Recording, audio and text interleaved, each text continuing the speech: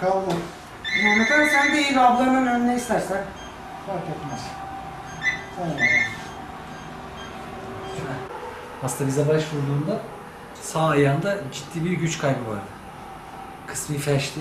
Ayağın üzerine basamıyordu. Hastanemize MR'ını çektik. Büyük bir fıtığı vardı. Omurilikte kanal daralması mevcuttu. Ameliyat planladık. Hastanemizin imkanlarıyla dün ameliyatını gerçekleştirdik. Yaklaşık iki buçuk saat kadar sürdü.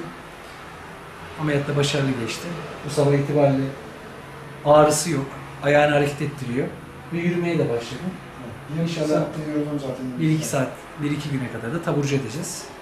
Hani zor denilen, yapılamaz denilen ameliyatı devlet hastanemizin imkanlarıyla burada gerçekleştirdik. Oh.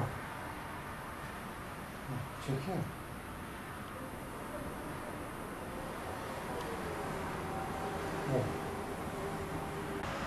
Eşim 35 yıldır e, bel fıtığından rahatsız.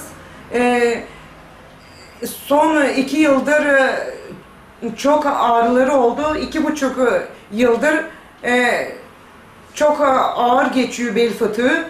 İki buçuk yıl önce gene felç geçirdi, atlattık. Bu e, iki ay önce e, iki ay önce gene ikinciye nüksetti. E, gene bu sefer felç ayağına vurdu, ayağa düştü. E, felç geçirdi bel fıtığından. E, devlet devlet dev- devlet hastanemizde e, başhekim şey doktorumuz Hüseyin Kutluay'a çok teşekkür ediyoruz. E, çok zor bir ameliyatı başardı. Allah razı olsun.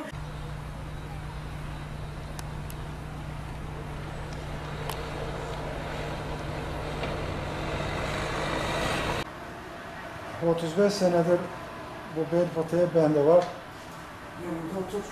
15 sene önce 12-13 o aralarda birkaç kere iki defa Edirne'ye gittim. Otur, otur oraya bak. Orada dedi ki bana doktor çok fena olmuş dedi ayağım. Ben dedi bunu ameliyat edemem dedi. Çektim bu sefer eve geldim. O bir daha üsteleyince bu sefer iki ay sonra yine bir daha gittik. Sen dedi bunu dedi başka bir yerde dedi ameliyat ettir dedi. Ben dedi etmek istemiyorum dedi. Bu sefer iğneyle tedavi gördük. İyileşir gibi olduk ama iyileşmiyor. Hep. En son iki buçuk sene önce üsteledi.